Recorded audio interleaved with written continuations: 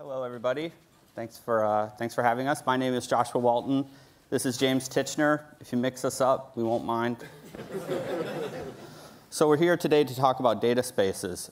And to do that, we need to talk a little bit about where we're from. So James and I met working at the Rockwell Group in an interdisciplinary team. And so that team does things like events like the Academy Awards. We developed the W brand, um, including the one in Union Square, and most recently the one in Paris. We did the Imagination Playground. We've done restaurants you probably, I hope you like, Nobu, uh, Maialino, um, Winkin Film Society. We love New York. We're doing all sorts of projects in New York. Um, but I guess the question is, why are we here? So our team, um, we formed a team this, the lab. We're about 20 people now. We've been around for four or five years, and we're interested in the intersection between the physical and digital. So we do events, we do temporary interactive installations, projections on giant spheres with interactive maracas, walk, so clear. Um, we did the, the uh, at T5, the JetBlue terminal at JFK, we did a huge interactive ring there, and well, we'll get more into it as we go through. It'll become clearer, I hope. So to summarize, though, we think about choreographing environments. And uh, we love the idea of how everything in the environment can come together to tell a story. This really comes from the way we think about architecture and telling stories with all of the materials in a space. But enlarging the toolkit of the materials we use to include the virtual and sort of thinking about the things from the scale of objects to the environment to how people move through the space to the meaning you want to get. And the choreography is really important to us because it's mixing the ephemeral, the, the program, the sort of software of the space, and the space itself and all the infrastructure that allows that to happen. And we love data. so some questions we ask ourselves are that when you're in spaces, sort of where are you? You know, we, we definitely have all the physical places we go, but we also have all the virtual activities we're doing. You know, even when I look around throughout the day today, you know, people checking their phones, checking their laptops, but they're also here at the conference and participating in it. So these are the kinds of problems we think about in the spaces we build.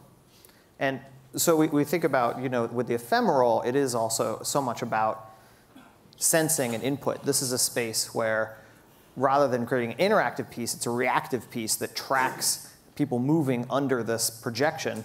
As they move under it, they cause these butterflies to scatter. Um, so rather than interactive back and forth, it's tracking the circulation through the space to create a living interactive wallpaper. And this data is recorded over time. And actually, one of the reasons we're excited to be here is to talk to all of you about what we should do with these millions of points of data that are sitting in our databases. Um, so, oh, after you. you know, and, and we're, we're interested in this idea of how we can, how we can feel data how we can create unique interactive platforms to experience high-res content in new, new, and unique ways. In this case, this is a um, lobby space of a casino in Las Vegas where these are six foot by 14 foot uh, columns that are with high, high-res video columns with mirrors in front of them. So you're actually walking through this video display system. But actually, that's not really fair to call it video display. What's great about it is that it's actually both video and generative work.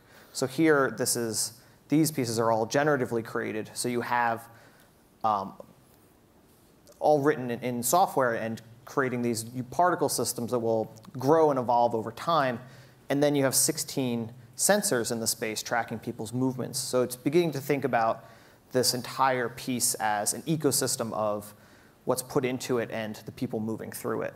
And so we actually do a lot of work with computer vision systems. And so in this installation, for instance, we use computer visions to track the people computer visions, computer vision to track the people coming in and out of the space. And from some of this work, we released an open source toolkit called OpenTSPS, Toolkit for Sensing People in Spaces, that we use to collect this data. And in this case, what's exciting is that they can transform the content based on the activity in the space itself. So it can dynamically change based on how many people are occupying the space, how crazy they're getting, because it is Las Vegas. So if they start to get too crazy, it all becomes a little bit more relaxed. so they don't break anything. Or, or yeah, because the, the, the scale of it, because the space itself is actually generated by all this content, the space itself actually changes at an instant. So you're able to reprogram this lobby space dependent upon it being the morning or an event or reacting live to how people are using it. And yeah, I guess just to reiterate or to talk a little bit more in depth about the um, generative part of it, it's so important. I don't know if anyone's ever been in a space with looping music, but it's a good way to go crazy.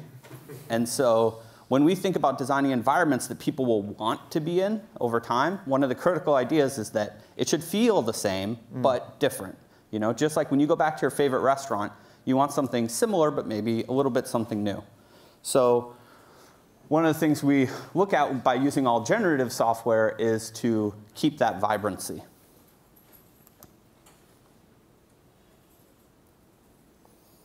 And so this is a, another space like that where here, what's exciting about this in this, this the ring we did for JetBlue is how we could take this single platform of building all of these screens and then update the software for it to make new uses for it. So it's actually able to interact with people's phones now. it has all these new use cases where it can be used for the, originally it was an art platform, but then it evolved to be able to be having people send messaging about event, um, what's happening in the terminal or new flights that, that they're trying to promote as an airline. And this is just kind of a little peek into this idea that we don't feel like spaces are really conveying enough about our digital lives yet. You know, even, even in this space, we feel a little bit of it, but you know, how much activity is happening on social networks right now related to what we're doing? You know, not, nothing's really telling us that in the space. And so that's where we see our lab doing the bulk of its research. And part of that is I've noticed at this conference in particular, people completely engrossed in their phones. And we've been thinking about how, how do you get people to do something from their phone and connect it to a larger environment? So we've been developing a lot of technologies that allow you to create shared displays. So everyone can participate on an individual mobile device, throw things to a shared canvas. The shared canvas is also a touch interface. Um, and you know, this is, was kind of a proof of concept for us about the core technology, but also about an interaction that makes social spaces more social. Mm-hmm. Um, and yeah. Actually, the next one shows an example of that where where we, we use this technology. We use the same technology for an event. This was at the National Building Museum in DC. They were celebrating their 25th anniversary, and it's, it's a pretty simple interface. It's it's this huge. Um, fabric is hung to project onto create this shared canvas and then it's almost you could very quickly build a skyline together and it's, it's really goofy to play with in a sense, but if enough people use it at the same time, it launches these fireworks and it becomes a shared experience. Um, and it sort of changes this, this, this stuffy sort of cocktail party fundraiser and functions in the way party favors have always functioned to, to get people to lighten up, but also to socialize. Allow it, I think one thing that we really learned from this was having something so easy to learn it allowed one person to show someone else how to use it, which is really valuable as a way for people to, to talk to each other in the same space. So this is one we're particularly passionate about.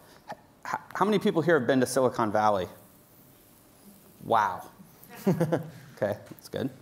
So we were we had a commission um, from the Zero One Arts Festival to think about doing an installation at City Hall in San Jose. And one of the things that people always say when they visit Silicon Valley is, they're like, where is it? Like, I'm, they'll call their friend in New York. They're like, I'm here, and I can't find it. Um, so, the yay New York. But the um, the one of the things I think is interesting about that is that obviously we know there's a lot of energy and people working and doing interesting things in Silicon Valley, but are we seeing it?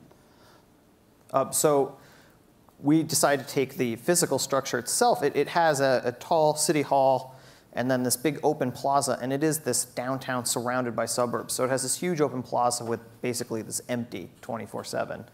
we use the physical structure to project onto, and then put a number put to, to project as a visualization tool, and then put across the plaza a number of distinct input technologies to sensing sort of representational about types of ways in people interact with data streams in the city and ways that cities can listen to civically how they're being used. Um, and then in addition to that, we had a number of remote web-based input technologies. So within a five mile radius of City Hall, it would record if people were using uh, Flickr or Foursquare or Twitter about the event. So kind of, this will show it in, in showing all these different types of civic engagement and putting them on equal footing and allowing them to, or to be visualized, to show all of this activity, whether it's virtual or physical. So during the day, part of the, the idea was to drive people downtown, drive people to San Jose. So families would come up, play with the megaphone, they could shout and see animations move up the building, they could play hopscotch that was reactive. We hooked it up, uh, we did our own sensing of the stoplights because they wouldn't give us the data. Um, and uh, hooked up the same thing with uh, the tables in the area, so we knew when people were eating lunch, kind of recording that data. But for me, which was great um, to activate the physical plaza. And then, but I have to say that personally, one of my favorite moments is that at kind of two or three in the morning, you, when no one's down on the physical plaza, the building's still lit up with all this traffic from Twitter and Foursquare and Flickr. And it's just exciting to go, you know, if you're driving around, you could see this kind of beacon and realize like there are people up working right now. And there's a vibrancy in the community. And, and what's surprising and to our, more to our, our point that it's, or, or, to our point exactly, is that it's not an either or between where we live our, our lives and our social lives.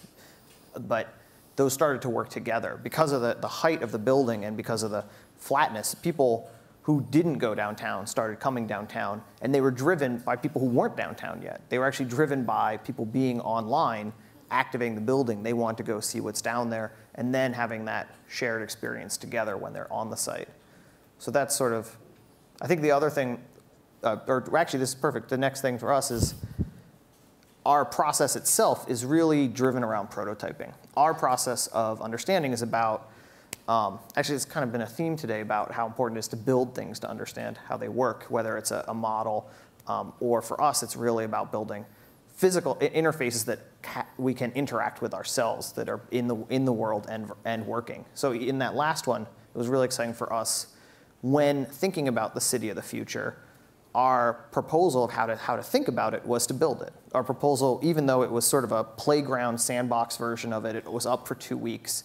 We really hoped that, by, that the people in Silicon Valley or in San Jose, engineers and, and, and researchers would see that and get inspired about what that maybe it was terrible. I mean i'm not saying it's terrible but maybe there are parts of it that there's obviously parts that could be improved and you can experience it to really find out what it was like.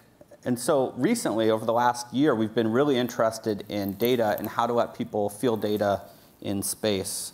Um, and so we're going to show you some prototypes that we've been working on. So these are some some peeks behind the curtain about our process right now. We've been working on how to create large interactive. Uh, we, are trying to do, I know we showed a lot of video-based work. We're trying to do more and more kinetic work. Um, there's a lot of risk involved in, in real estate in, in terms of building, or in, in physical world in terms of building kinetics because of the maintaining them. So we do a lot of our, this is a prototype of a 60 uh, foot long kinetic ribbon um, that we built all on uh, in, in WebGL. WebGL. And one of the things that's exciting about that is using all browser-based technologies, we, we, we find engineers who can feed data into this. We create this visualization tool so they know what it's going to look like, and then we physicalize it. So, um, so then this is the other model we were building at the same time um, using a traditional architectural methodology of a scale model. And here, it, it gives you a totally different, even though it has a lot less points in it, um, seeing it in real life gives you a totally different feel about what it's going to be like um, and, and different view of the experience. And I think one of the things that's key to us is that we're, we're starting with really simple ways of doing this and trying to build up. How do you live in these kinds of environments over time?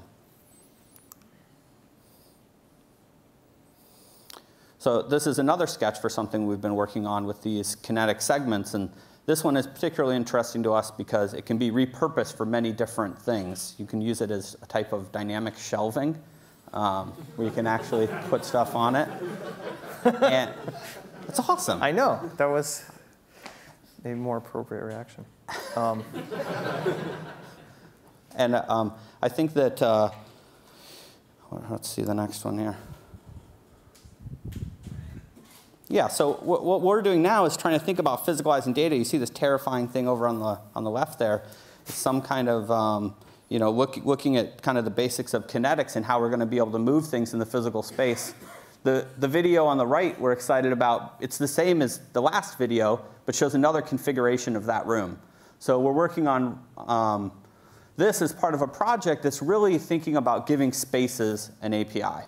So if you think about even this room, you know what, and in terms of how we can interact with it, we believe most of the technologies that built this room are actually um, very hard to get access to. Sometimes because it would be dangerous to, but often because of you know kind of proprietary technologies that don't like to play well with others. And par part of what we're doing is really trying to push that industry to learn more from what all of you have been doing mm-hmm. and from what the web has been doing to say, hey, you know what? You, if you open up some of these things, the people who use this space will be able to dynamically choreograph it in the way that they want. So they know that they can change the light levels based on this kind of condition or the temperature based on another type of condition.